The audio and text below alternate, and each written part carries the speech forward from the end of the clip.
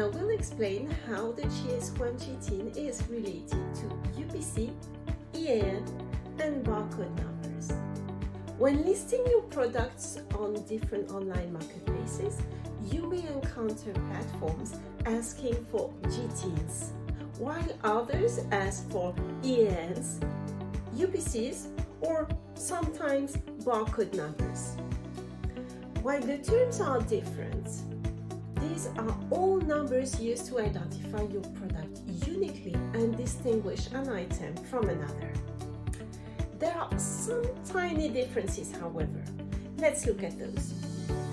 A GTIN is the Global Trade Item Number and it is the correct term to use when referring to the number that uniquely identifies.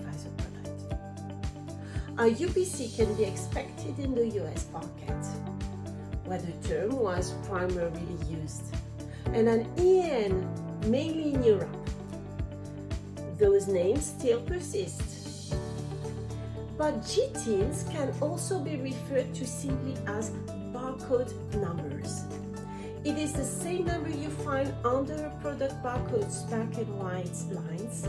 The lines allow lasers in a store or a warehouse to read the GTIN number and identify your product.